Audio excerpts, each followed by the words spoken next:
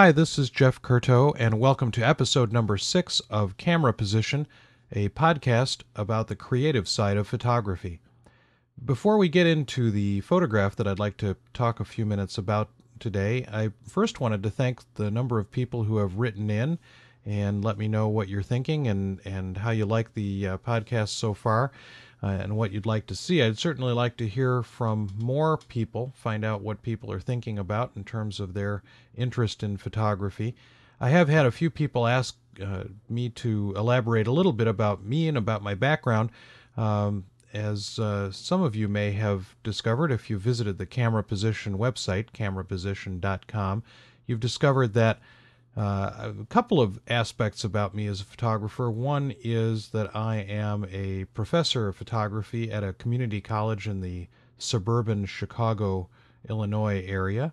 And uh, College of DuPage is where I've taught since 1984 and have uh, taught a wide variety of classes there. And in fact, some of you may have heard my podcast about the history of photography. I've been podcasting my history of photography class for the last uh, oh six months or so, four months, I guess. Uh, and um, some of you may have heard that podcast, and if you haven't, you're interested in the medium's history in a sort of comprehensive fashion. They're somewhat longer podcasts than Camera Position. Uh, camera Position weighing in somewhere in the five to seven or eight minute range, but uh, the History of Photography podcast weighing in substantially longer, often uh, as long as a couple of hours.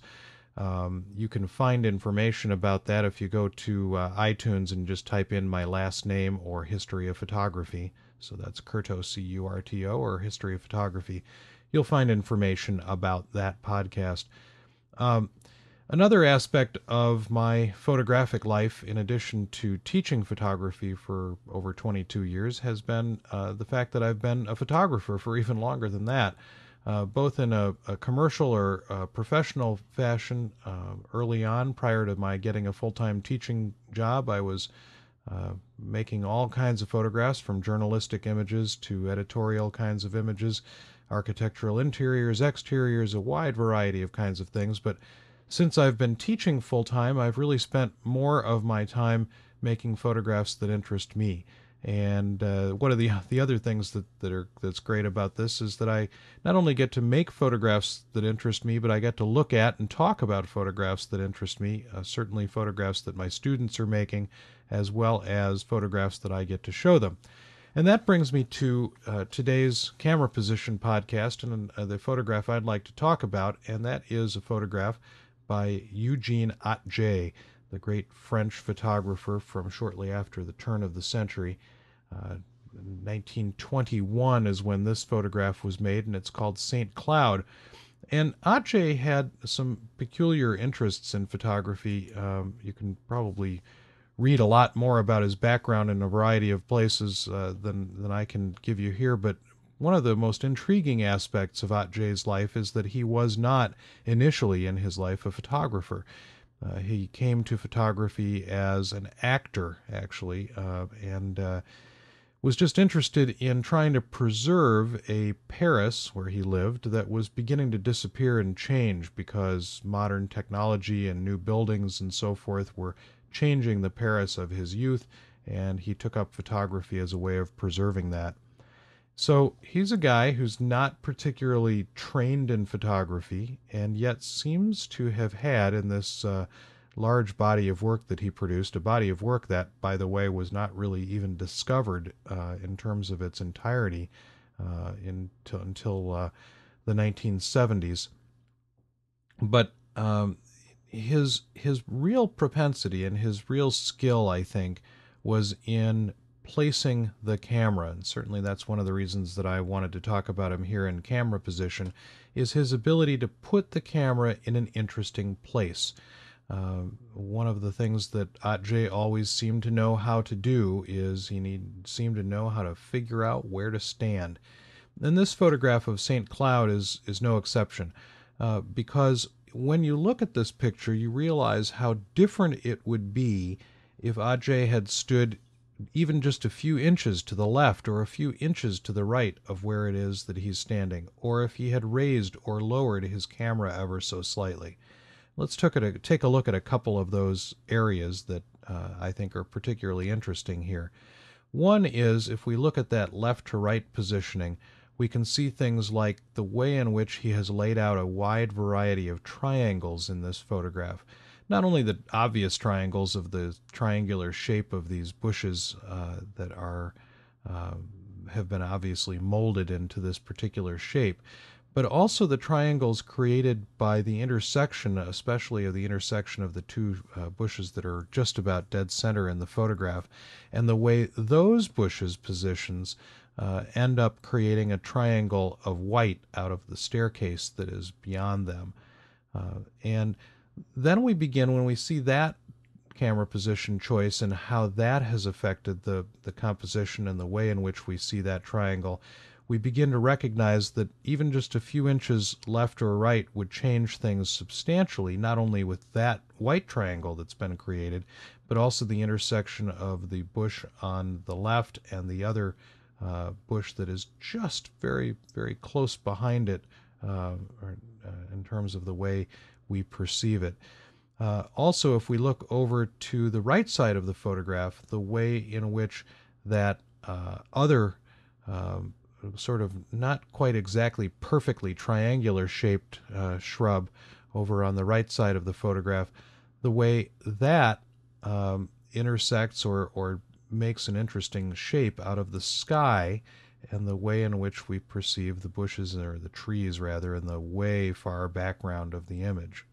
So that's just all the stuff that's happening in the left to right camera position of, of Atget's choice in this particular photograph. But now let's look at up to down camera position and how his choice of elevation of the camera changes things.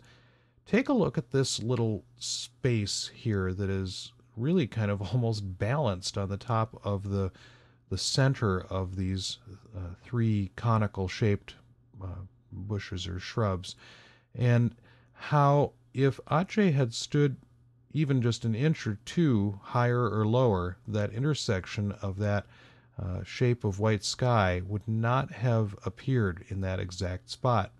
Now, I'm not certain that when a photographer makes those kinds of choices that they're making them consciously. I, I suppose from my own perspective and my own photographs, sometimes I make them consciously and Sometimes I make them subconsciously or unconsciously, as the case may be. Um, but I really think that that is what photography uh, ends up becoming in many ways for many photographers.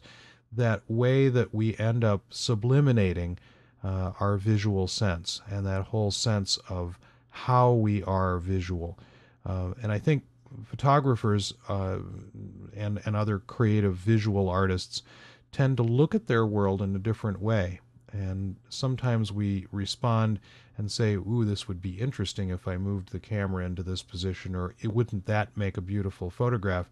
But oftentimes it is what Ansel Adams used to call imaginary photographs or photographs of the mind that we make.